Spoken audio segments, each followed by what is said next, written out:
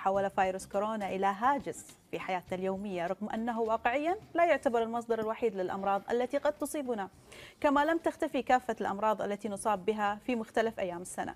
ومع انتشار فيروس كورونا قد يحصل التباس لدى كثيرين بين مشكلة الالتهابات المعوية وفيروس الموجود في بعض التشابه من خلال الأعراض بينهما. وحول الالتهابات المعوية وفيروس كورونا يسعدنا أن يكون معنا في الاستديو الدكتور غانم السالم استشاري أمراض الباطنية والجهاز الهضمي. حياك الله معنا في مساء الخير. الله يجزاك خير حياكم الله. ومشكورين على هذه الاستضافة الطيبة جزاكم الله خير. حياك الله معنا دكتور برنامج مساء الخير يا كويت ومشرفنا وصاحب مكان. الله يخليك طول بعمرك. أنتم أنتم أهل كرم وإحنا نستاهل جزاك الله خير. مشكور بارك الله فيك. دكتور خلنا نبتدي وياك بسؤال مهم جدا ومحوري قد يكون مفيد للسادة المشاهدين ونتحدث فيه عن أبرز أعراض التهابات المعدة والأمعاء. قبل لا ندخل في الجواب على هذا السؤال أنا ودي أوجه تحية لكل من هم شاركوا في الصفوف الأولى في مواجهة جائحة كورونا. إي والله يستاهل لأن صراحة الجائحه هذه اللي وقفت العالم على ريل واحدة وشيء مفاجئ للإنسانية والبشرية. صحيح. وناس ضحت بأوقاتها وفي أرواحها في سبيل إن نقاوم هذا الفيروس وإن نعدي هذه المرحلة. ودولة الكويت صراحة بجهود كل من شارك فيها سواء المسؤولين في وزارة الصحة في الداخلية في كل قطاعات الدولة من كانوا في الصفوف الأولى. ابلوا بلاء حسنا في التحكم والسيطرة على هذا الفيروس وإن شاء الله يا رب الآن عندنا بصيص أمل بهذا التطعيم الموجود إننا نتخلص من هذه الجائحة بأقرب وقت إن شاء الله. طبعا ردا على سؤالك أكيد التشابه ما بين الأعراض ما بين الإصابة بفيروس كورونا نعم. والنزله المعويه هو نعم. تشابه في الأعراض شديد.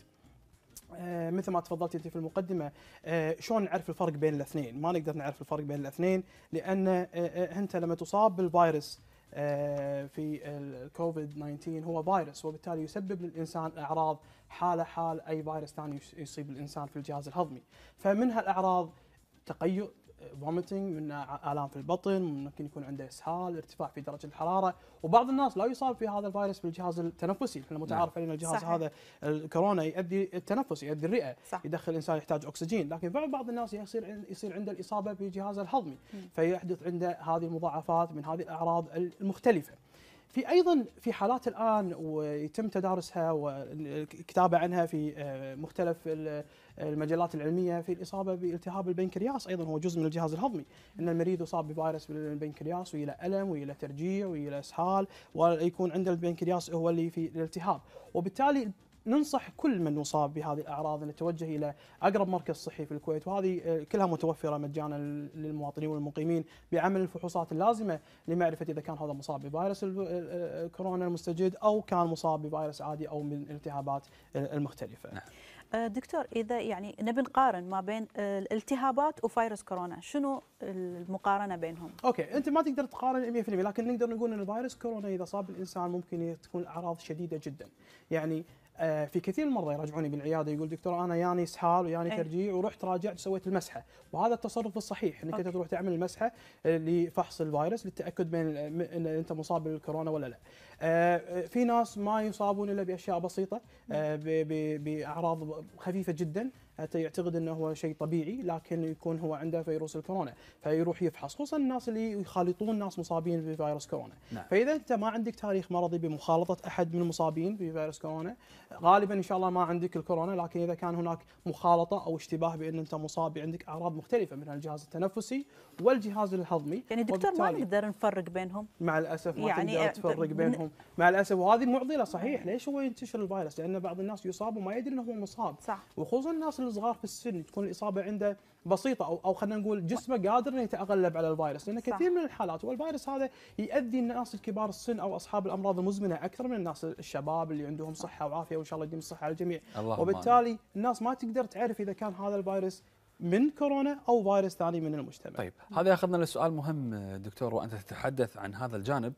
كيف ممكن الوقاية من التهابات المعدة والأمعاء؟ وأنت تعلم جيدا دكتور بأن التهابات المعدة تكاد تكون واحدة من الأمراض اللي صحيح. انتشرت بالمجتمعات صحيح. ليس فقط بمجتمع الكويت صحيح. وأصبحت من الأمراض المزمنة إن كان صحيح. هناك ضغط وسكر أصبح هناك التهابات التهابات المعده, المعدة. صح نعم. شوف التهابات المعدة والأمعاء مثل ما تفضلت منتشرة موجودة بالمجتمعات ككل ليس بالكويت فقط في كل مجتمعات العالم والوقاية منها تتطلب إن طبعا مثل ما قالوا الوقاية خير من قنطار العلاج نعم. ان أنت تتجنب الإصابة بهذا المرض عشان تتجنب الإصابة بهذا المرض غسل اليدين غسل الايدين هو اهم شغلة تخليك تبتعد عن الإصابة أو تحميك من الإصابة في التهابات المعدة والأمعاء لأن تنتقل ال- الفيروسات والأجسام الدقيقة هذه وأنت ما تشوفها بعينك المجرده بيدينك مم. بالأكل مخالطة تحط إيدك على حلجك تحط إيدك على خشمك تحط إيدك على عينك تنتقل. هذه الأماكن اللي تدخل فيها هذه الفيروسات وهذه البكتيريا والجراثيم إلى جهازك الهضمي الدكتور ممكن يدخل عن عينه؟ يعني نعم، يحط إيده بعينه نعم ممكن ممكن يدخل. تدخل بالعين نعم. وهناك آه، حالات مؤكدة إنها تدخل من عن طريق العين.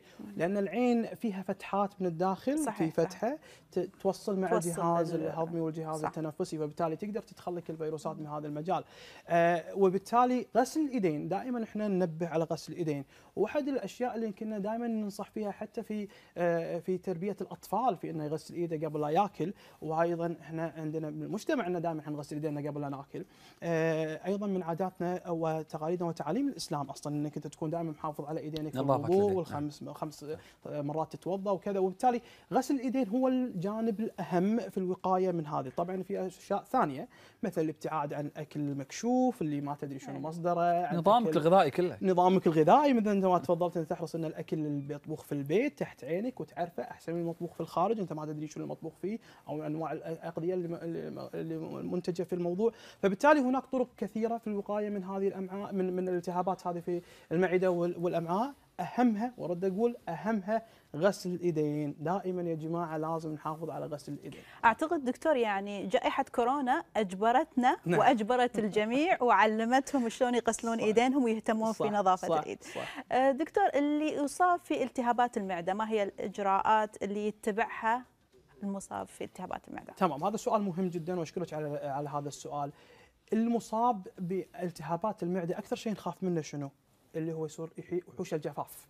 لأن التهابات المعدة والجهاز الهضمي تخلي الإنسان يفقد سوائل كثيرة إما عن طريق الترجيع vomiting أو التقيؤ أو عن طريق الإسهال. وأنت بكرامه وبالتالي هذا الأمر يحتاج إنه يعوضه عن طريق آه، ال fluid. طبعا أنا أتكلم في كبار السن. طبعا الأطفال أيضا يحوشهم الجفاف ولكن لهم آه، تخصص مختلف آه، يقدر يتحدث عنه دكتور آخر زميل في هذا الموضوع. لكن في كبار السن خصوصا اللي هم شباب أو خصوصا الكبار في السن عندهم أمراض مزمنة أو كبار السن اللي هم يبلغون من العمر فوق ال 65 سنة ولا يحمل امراض هذول كلهم معرضين للإصابة بالجفاف.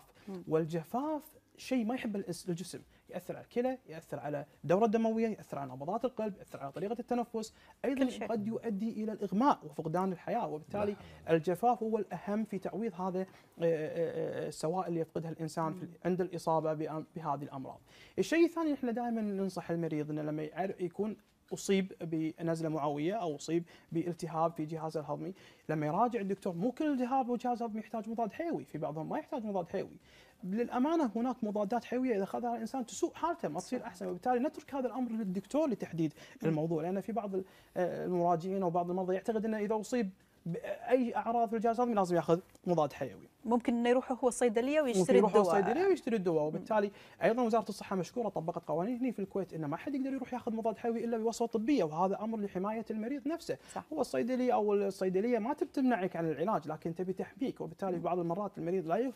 لا يكون مدرك ما هو يعني شنو اللي قاعد يسويه من من أشياء. فبالتالي مو كل التهاب يحتاج مضاد ولازم يعوض هذا الالتهاب أو السوائل اللي يفقدها بطريقة أو بأخرى إما عن طريق الوريد بتعويضه بسوائل أو عن طريق الفم بانه يشرب سوائل كثيرة لتعويض هذا الفقدان من ال- الج- الجفاف أو الماء. طيب دكتور أيضا سؤال مهم وقد يتبادر إلى الأذهان يعني متى تعتبر الحالة خطرة وتستدعي استشارة الطبيب أو دخول إلى المستشفى نعم. متى أحس إنه خلاص يعني ما فيها قشمره هذا أيضا أيضا ما شاء الله اليوم اسئلتكم كلها مهمة وهذه مفيدة للمجتمع وفرصة إن إحنا نبين هذه الأمور للناس اللي متى يراجع الطبيب.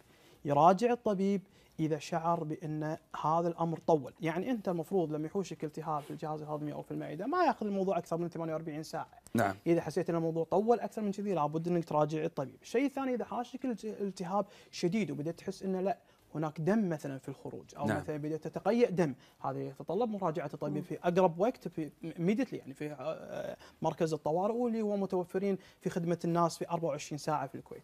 الشيء الثالث إذا حسيت بالإغماء أو إن بديت تفقد إن التوازن تحس إن أنت وأنت تمشي لا والله أنا مو متوازن عندي موضوع فيه مختلف.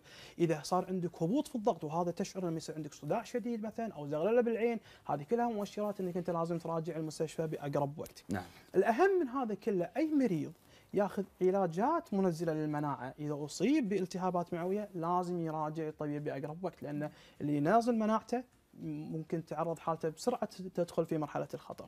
الشيء الثاني كبار السن، دائما ننصح كبار السن إذا أصيبوا بنزلة معوية مراجعة الطبيب بأقرب وقت لأن هذا يحميهم ونوفر لهم العلاج بأقرب وقت عشان يطلع من هذه الأزمة بالنزله المعويه بسرعة وبأقل الأضرار.